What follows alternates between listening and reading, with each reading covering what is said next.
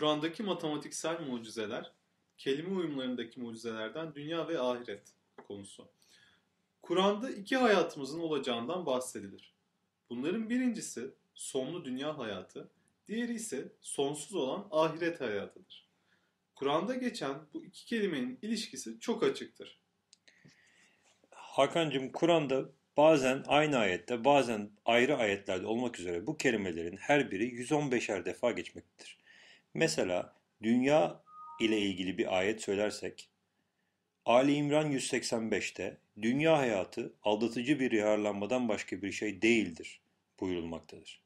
Hud 103'te ise ahiret azabından korkanlar için bunda kesin deliller vardır buyurulmaktadır. Daha detaylı bilgi için mucizeler.com adresini ziyaret edebilir. Sorularınız için Hakan ve Tarık gmail.com adresine mail atabilirsiniz. Teşekkürler.